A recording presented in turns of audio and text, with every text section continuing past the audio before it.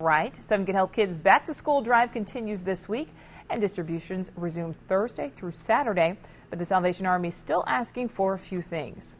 KETV News Watch 7's Melissa Holman is live from 24th and Pratt at the Salvation Army's North Corps with more. Good morning, Melissa. Good morning, Nicole. On Saturday, approximately 1,000 students received their backpacks filled with school supplies. That's about 200 more than the same day for last year. So that increased numbers has organizers worried that they might not have enough supplies. So they're still asking for more donations, including pencils, rulers, as well as erasers. Now, at the Salvation Army Tuesday, volunteers fill hundreds of backpacks with supplies assembly line style. Glue, pencils, crayons, and markers find their way into donated bags.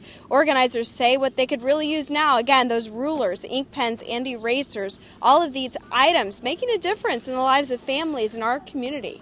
We want to give them at least the tools that they'll need to have a successful start to the school year. And their parents are relieved of an extra burden too. Hey, they're all on tight budgets. We're all on tight budgets. But really, for these folks, it's really a critical need. It's a lot of burden up off of your shoulders, especially if you're like a single parent or something.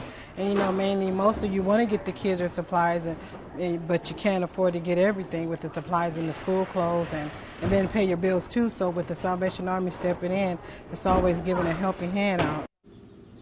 If you still want to help, donations can still be dropped off at any First National Bank in Omaha, Lincoln, Council Bluffs, or Beatrice. Again, pencils, rulers, and erasers, the items organizers say are specifically in need. You can also donate $10 by text messaging Omaha to 80888.